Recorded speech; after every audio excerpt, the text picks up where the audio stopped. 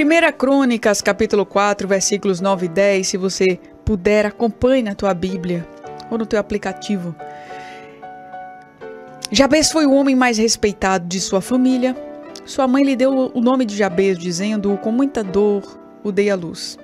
Jabez orou ao Deus de Israel e ele disse: Ah, abençoa-me e aumenta as minhas terras, que a tua mão esteja comigo, guardando-me de males e livrando-me de dores.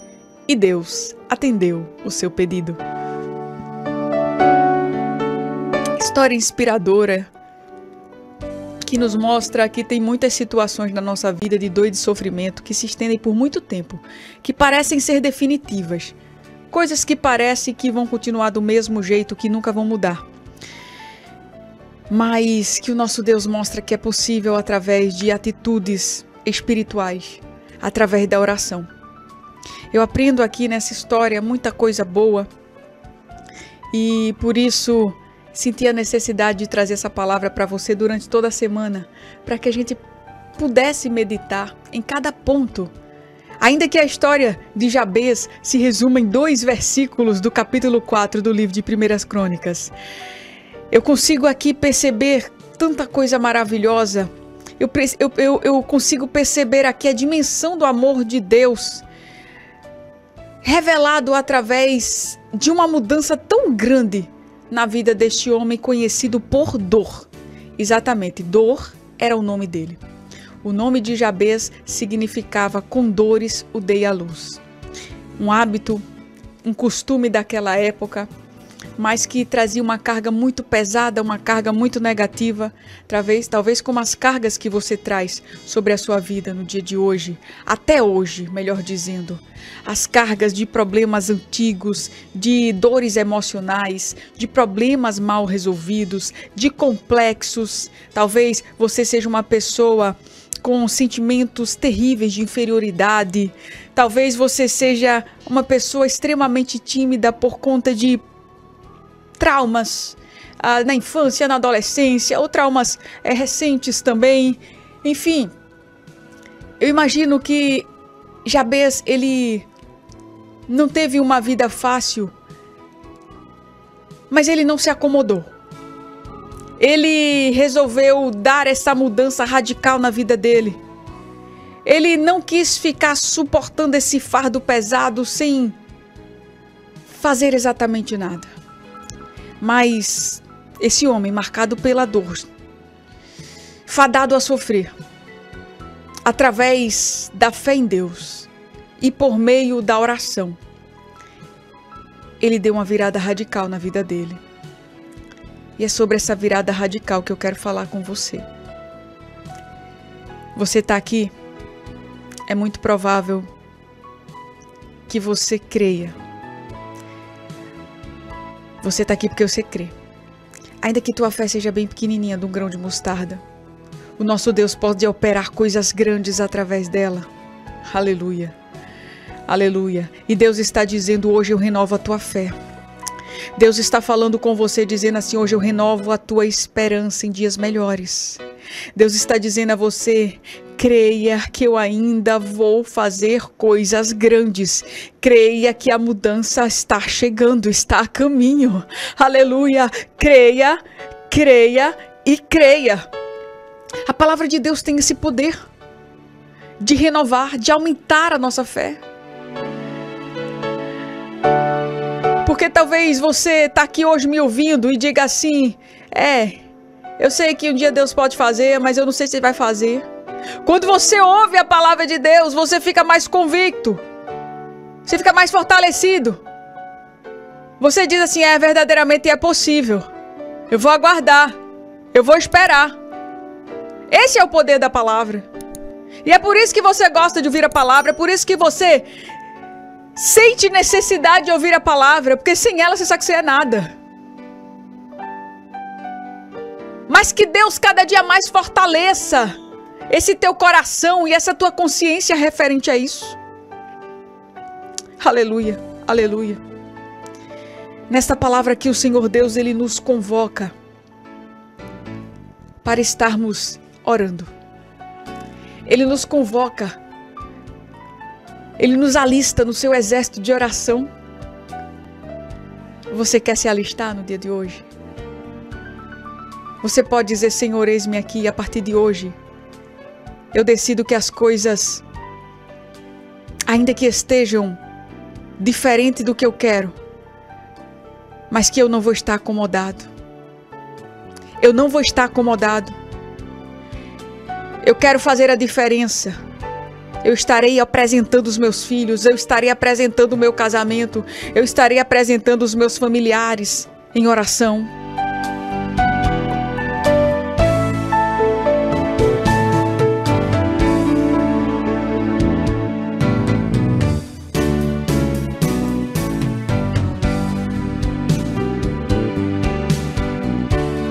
Louvado seja o nome do Senhor Jesus.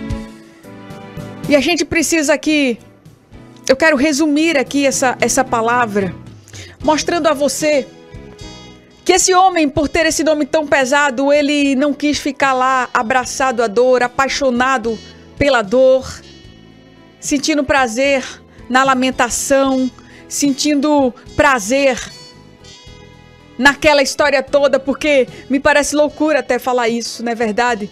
Mas existem alguns momentos da nossa vida em que nós passamos a curtir aquilo. Nós passamos. Talvez você diga, não, Clarissa, nunca que eu vou gostar desse sentimento. Mas quer que eu explique para você? É você sentir prazer em que as pessoas sintam pena de você. É você sentir prazer em que as pessoas dêem atenção a você e você só consegue chamar atenção quando você mostra a sua dor. Você só consegue chamar atenção quando você chora. Você só consegue chamar atenção quando você dá aquele telefonema. Mas isso tem um prazo de validade é muito curto. Vai chegar um momento que ninguém mais vai querer continuar do teu lado. Meu irmão, isso aqui é uma realidade. estou falando de seres humanos. Só Deus que não sai de perto da gente. Porque tem hora que nem os amigos mais suportam a gente. E Deus está dizendo nessa manhã: Ei, eu quero te levantar. Eu quero tirar toda essa amargura do teu ser. Eu quero fazer você uma pessoa com a mente nova, com novas emoções. Eu quero fazer algo novo. Diz o Senhor: Eis que farei uma coisa nova. Porque quando eu olho para Jabez, eu vejo as pessoas olhando para ele dizendo: Olha, olha a dor passando. Eu vejo os amigos dele dizendo: Dor, vem cá. Quando alguém perguntava: Cadê dor? A dor está ali. Amado, isso aqui traz algo muito negativo.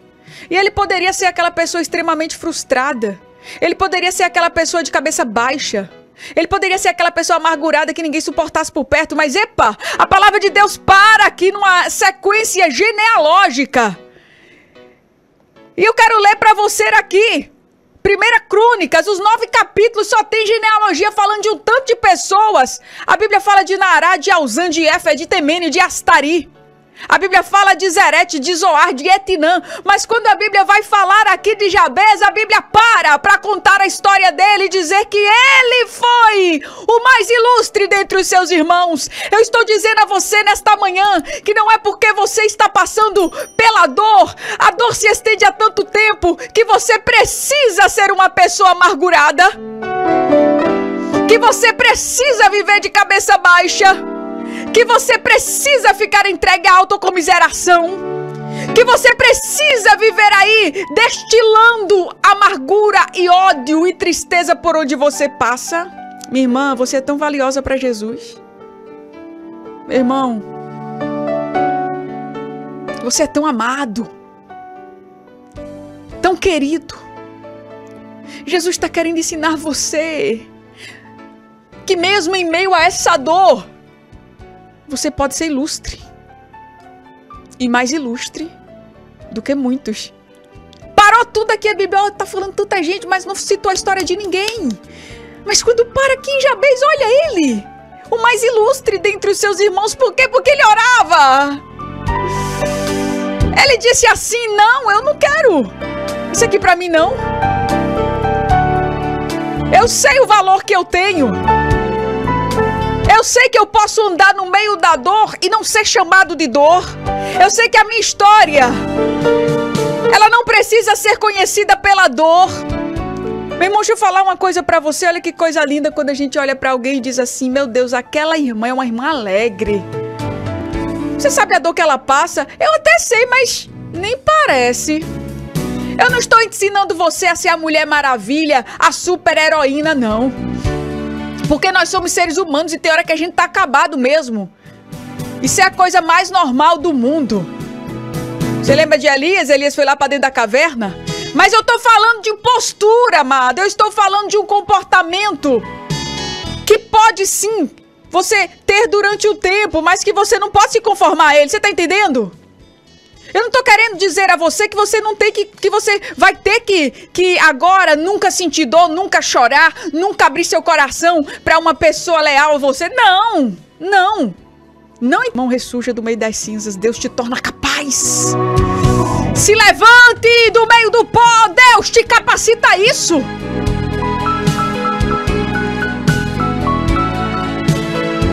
Deus te capacita as pessoas alegres, as pessoas as pessoas felizes, as pessoas que vivem em paz, não tem tudo isso porque simplesmente é obra do acaso não. É porque essas pessoas elas buscam em Deus ajuda. É porque essas pessoas de Deus, elas blindam os seus sentimentos. É porque essas pessoas decidem isso. Aleluia. Você não pode se conformar. Você não pode aceitar, você está entendendo? Blinde a sua mente. Se preencha de coisas boas, coisas positivas. E aqui a palavra de Deus está me ensinando. Invoca o nome do Senhor. Invoca que você pode ser ilustre. Você pode ser uma pessoa notável. As pessoas vão olhar para você e não vão enxergar apenas dor, vão enxergar, vão enxergar vitória, superação. Aleluia! É isso que a palavra de Deus está dizendo. Quando eu olho para Jabez, eu vejo isso. Vamos correr aqui. Quatro pontos da oração desse homem. Ele começa orando, Senhor, que me abençoes. Ele está dizendo assim, Senhor, olha para mim e derrama tua bênção sobre mim, que eu conheço o Senhor e eu sei que o Senhor é abençoador. Irmão, não pense que Deus é pirangueiro para abençoar, não. Ele abençoa na hora certa, quando Ele quer e quando Ele sabe que nós estamos aptos a receber. Porque às vezes a gente olha para Deus e, ai, Deus me dá, só, só se, né, Deus? Não, irmão, peça com, como você pede seu pai e sua mãe. Você não pedia dinheiro à sua mãe, né, quando você era mais novinho, né, com muita ousadia. Mãe, me dá aí, peraí, mãe, né, assim. você não vai falar assim com Deus. Mas você pedia assim, porque você sabia que sua mãe tinha. Peça a Deus sabendo que Ele tem para dar. Peça a Deus sabendo que o coração dele está disposto a dar. Jabez ele orava assim: Senhor, eu te peço que me abençoes muito. Outra coisa que ele ora aqui pedindo é: Senhor, me alarga as minhas fronteiras. Ele não está pedindo só terras. Ele está pedindo para viver de maneira abundante. Ele diz: Senhor, tudo que o Senhor me dá me faz prosperar. Me dá um lar abençoado, um casamento abençoado, filhos abençoados. Eu não quero ficar preso a limites. Me dá um comércio abençoado, um trabalho abençoado, uma mente abençoada, palavras abençoadas. Eu quero, Senhor Deus, prosperar. Eu quero que o Senhor alargue a minha área de atuação, alargue as minhas fronteiras. Eu quero, Senhor Deus, eu quero prosperar. Prosperar em tudo que eu fizer. Terceiro ponto da oração dele. Que seja comigo a tua mão. Ele diz, Senhor, segura na minha mão. Isso aqui fala de presença fala de apoio, de ajuda. É você ter a plena consciência de que sozinho você não é nada. Aleluia. A Bíblia, o, o salmista, ele diz certa feita, orando ao Senhor, ele fala, porque ele sabe de que fomos formados. Ele se lembra de que somos pó. E aí eu preciso entender que se eu quiser fazer alguma coisa sozinha, eu vou quebrar minha cara. Se eu quiser entender que a minha vontade deve se sobrepor à vontade de Deus, eu vou quebrar a cara. Se eu olhar para a Bíblia, que é o meu manual de regra e conduta, e quiser fazer algo fora do que a Bíblia me orienta, eu vou me atrapalhar. Deus não continuará segurando na minha mão. Porque eu preciso entender que eu só posso estar nos lugares em que Deus está. E eu preciso entender que se Deus não for comigo, eu vou me atrapalhar. Como Moisés, ele disse certa vez: Senhor, eu não vou com o anjo, eu só quero se o Senhor for comigo. Quando Deus fica lá irado, o povo tá agora adorando bezerro de ouro. Moisés desce do monte, fica irado. Aí Deus diz: Esse povo é muito obstinado. Como é que esse povo começa a adorar outro Deus agora? Então Moisés chega lá que esse povo diz a eles que, que eu vou enviar um anjo, que vocês vão até chegar na terra prometida, eu vou livrar vocês dos inimigos. Mas eu não vou, Deus. Eu não vou, Moisés. Porque eu poderia destruir esse povo no meio do caminho.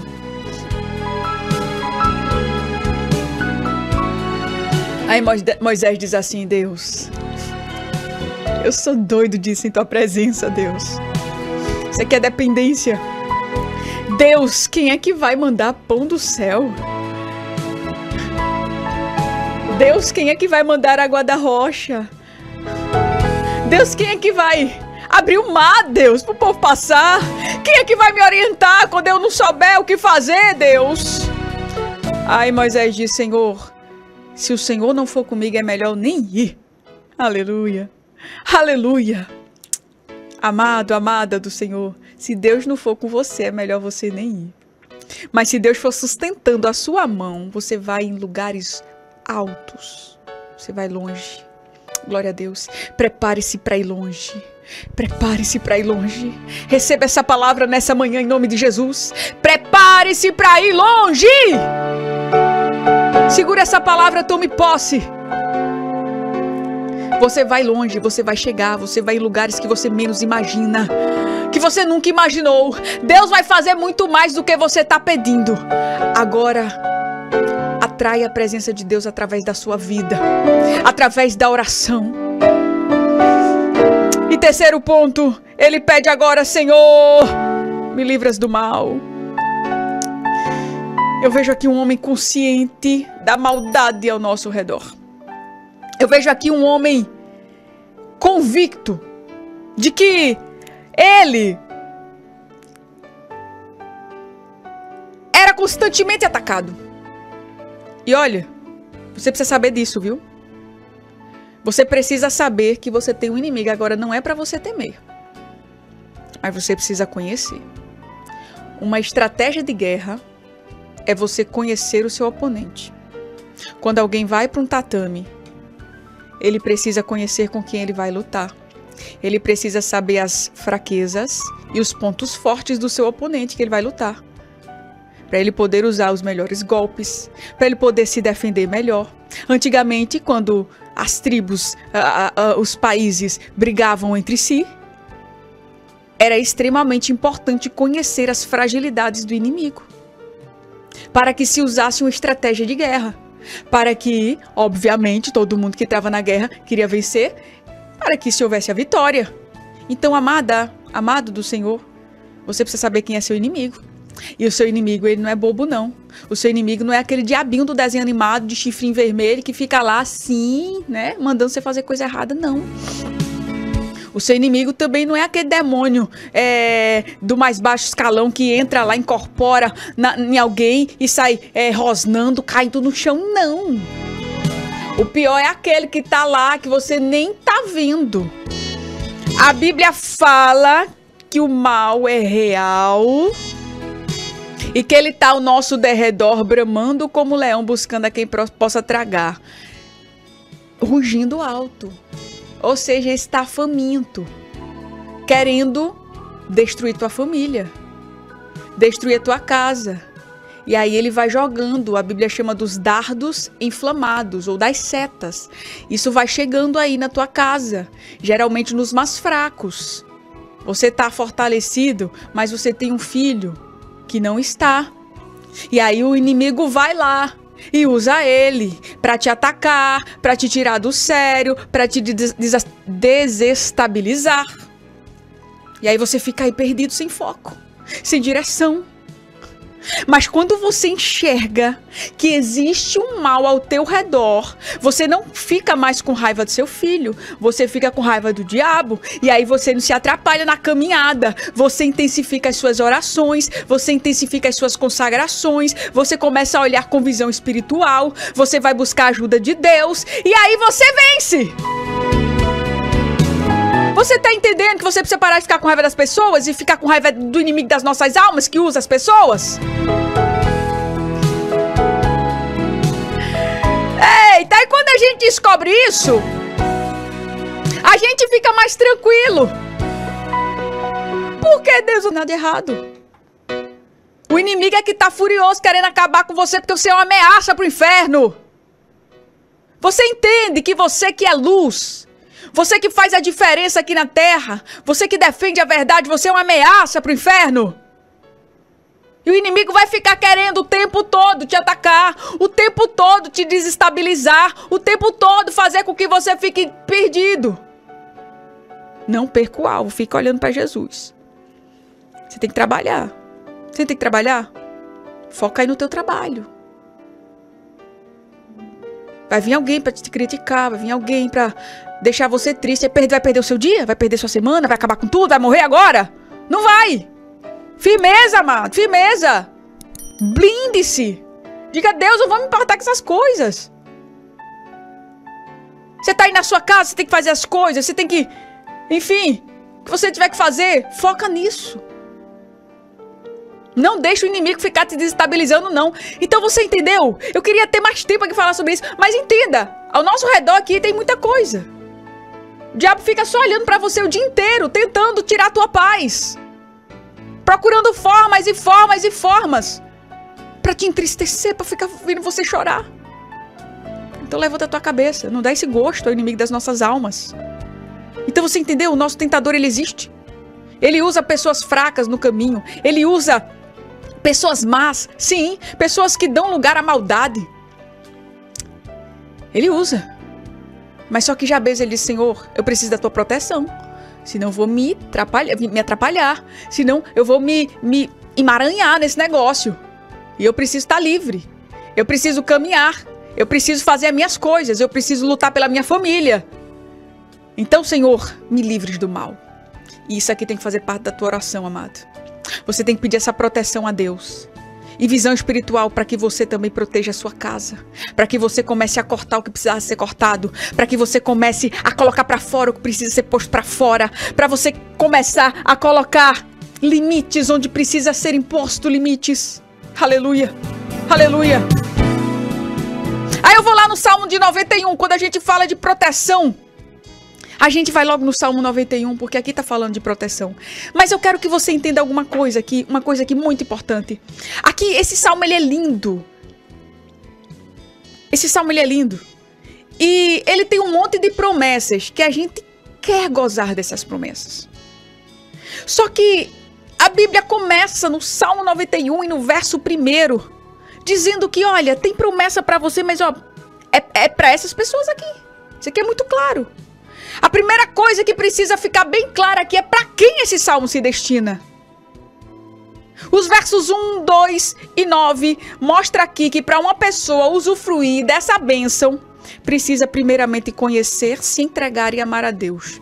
Ou seja, eu preciso aceitar Jesus, eu preciso é, reconhecê-lo como meu único e suficiente Salvador, eu preciso conhecê-lo cada dia mais, eu preciso viver uma vida de entrega a Ele. Você vive essa vida? Você luta contra o pecado?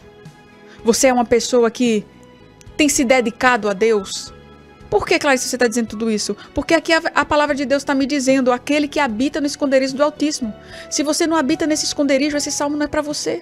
Mas se você está lá, aleluia, debaixo das asas, na sombra do Onipotente, você pode descansar. Oh, aleluia você descansa, aí você não anda perturbado. Com medo de tudo, com medo de todos, com medo de se atrapalhar. Quem está debaixo das asas da sombra do Onipotente, dá um glória para Jesus aí bem alto, se você puder. Oh, glória! Glória a Deus, glória a Deus. Eu estou. Eu estou, Senhor. E ai de mim se sair debaixo das asas. Direi do Senhor, Ele é o meu Deus, o meu refúgio, a minha fortaleza, e nele confiarei. Você confia? Olha que coisa linda. Porque ele te livrará do laço do passarinheiro. Você quer armadilha, meu irmão? O diabo tá doido querendo pôr armadilha para você onde você passar. E da peste perniciosa. Vamos meditar aqui nesse Salmo 91. Eu tenho mais alguns minutinhos para a gente orar nós estamos protegidos contra o inimigo. As armadilhas, ou seja, o laço do passarinheiro, o veneno às doenças mortais, ou seja, a peste perniciosa. A Bíblia está me dizendo aqui que ele nos livrará. Cobrir-te-á com as suas penas e sobre as suas asas estarás seguro. A sua verdade é escudo e broquel. Ou seja, nós estamos seguros debaixo da asa de Deus. Ele compara aqui Deus, a galinha que protege os seus pintinhos. Eu não sei se você já viu, mas é uma coisa esplendorosa, é a coisa mais linda deste mundo. Eu crio galinha, eu, eu gosto de ficar olhando, eu gosto de ir lá colocar comida, de buscar os ovinhos. E quando as galinhas, eu faço isso desde pequenininho, né? E quando as galinhas cuidam dos pintinhos, os pintinhos ficam lá debaixo das asas da galinha, a gente, a gente olha e vê proteção. Eu já vi uma galinha lutando com a cobra para cuidar dos pintinhos dela. Então, essa comparação aqui é linda. Deus está disposto a te proteger. E aí, aí com, completa aqui a palavra de Deus dizendo que a verdade, ou seja, a palavra de Deus, ela funciona como um escudo. Ou seja, ela não deixa o mal chegar até nós. Você está aí ouvindo a palavra? Você está se blindando, você está se protegendo do mal com a palavra de Deus. Oh, aleluia! Versos 5 e 6: Não te assustará do terror noturno, não temerás o pavor noturno, nem da seta que voa de dia, nem da peste que se propaga nas trevas, nem da mortandade que assola ao meio-dia. Isso aqui está falando de, de muitos muitas ameaças. De noite, de dia, assaltos, bala perdida, peste, praga, epidemia, pesadelos, né, no terror noturno. Amado, amada do Senhor Jesus, quem é filho? Quem está debaixo da sombra do Altíssimo? Não precisa temer nada disso. Você tome as suas precauções. Você faça a sua parte como ser humano. Porque a Bíblia também diz: Não tentarás o Senhor teu Deus. Ninguém vai pular de uma ponte e dizer: Jesus vai me sustentar. Não. Você faz sua parte como ser humano. Mas não fica querendo fazer a parte de Deus, não. O impossível Deus faz. Aqui Deus está dizendo: olha, você não precisa andar temeroso. O que a gente está vendo aí em meio a essa pandemia, as pessoas vivendo enlouquecidas, transtornadas, adoecendo emocionalmente por conta de um vírus. Um vírus que não traz danos só à saúde física, mas traz danos à saúde mental a quem se deixa levar por ele. E eu tenho sido muito combativa ao tratar disso. Eu tenho falado bastante aqui na Rádio Novas de Paz. Desliga a tua televisão. Para de ficar querendo saber tintim por tintim do que está acontecendo no mundo. Para de ficar absorvendo tanta negatividade. Para de deixar a tua mente ficar sendo poluída com isso, porque isso só vai te fazer mal. Você, você talvez atravesse essa pandemia e nem pegue esse vírus. Eu já peguei. E tô bem, graças a Deus. Milhares de pessoas pegaram então bem. Perdi pessoas na minha família, perdi. Mas não me deixei levar por isso. Porque senão a gente não vive. A gente não pode viver morrendo de medo de assalto. A gente não pode viver morrendo de medo de sequestro. A gente não pode viver sendo levado, sendo tomado pelo medo em tudo que a gente faz. Ah, eu vou por entrevista de emprego. Meu Deus, eu vou me tremer todinho. Eu, eu não consigo. Quando alguém olha no meu olho, eu não falo. Eu não... Amado! Não se assustarás ou não temerás nada, diz a palavra de Deus. Diz a palavra de Deus, porque Ele não quer você dominado pelo medo. A Bíblia nos diz que Ele não, não nos deu o espírito de medo, eu vejo que o medo é um espírito. Então repreenda da sua vida. Enfrenta aí os teus medos. Não fique doente com ele. Viva a sua vida, faça a sua parte. Não queira fazer o impossível. Saiba que Deus ele te auxilia em tudo que você fizer. Vamos seguir aqui. Caiam. Mil cairão ao teu lado, dez mil à tua direita. Mas tu não serás atingidos. Eita Deus, tu não serás atingido. Amado, amada, você confia nessa palavra? Nós temos um diferencial como filhos de Deus é que as coisas podem até acontecer ao nosso redor, mas nós permaneceremos firmes. Você crê nisso? Você crê nesta palavra? nós permaneceremos firmes. Somente com os teus olhos contemplarás e verás o castigo dos ímpios. Isso aqui é a gente vendo os inimigos, olha, caindo por terra, caindo por terra, caindo por terra. Aleluia! Aquele que se levanta para nos prejudicar, aqueles que armam armadilhas para a gente cair. Deus está dizendo que a gente vai ficar olhando para eles, sendo castigados. Essa aqui é a palavra. Se você não crê, infelizmente eu não posso fazer nada por você mais do que orar. Mas creia nessa palavra, você verá o castigo dos ímpios.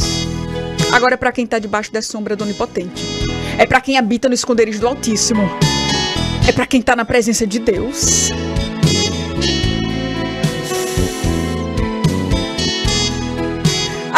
Diz que eis que envergonhados e confundidos serão os que se levantarem contra ti. Deus vai colocar um espírito de confusão no meio dos teus inimigos. Vão brigar entre si, vão se matar. Quem está preparando a armadilha sobre tua vida vão ficar lá transtornados, vão perder o foco, vão ficar atrapalhados.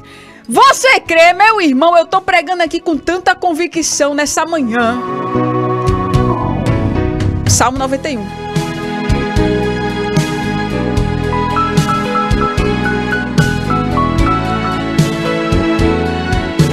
Somente com os teus olhos contemplarás e verás o castigo dos ímpios.